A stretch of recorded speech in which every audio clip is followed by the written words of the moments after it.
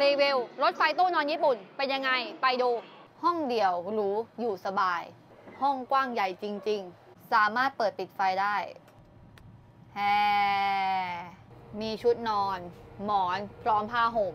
มีโต๊ะกินข้าวส่วนตัวนั่งทำงานได้ มีปลั๊กไฟใช้ชาร์จแบตได้ ประตูห้องล็อกรหัสได้ แต่อย่าลืมรหัสนะ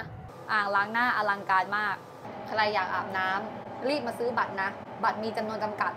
330 เยนอาบได้ 6 นาที นี่ไงห้องอาบน้ำใหญ่มากๆ ห้องน้ำเปิดประตูอัตโนมัติ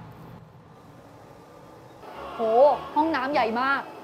มีโต๊ะกินข้าว ชมวิวได้ด้วย อ้าว รถวิ่งกลางคืน นอนก่อนไม่รอแล้วนะ ตื่นแล้ววิวสวยมาก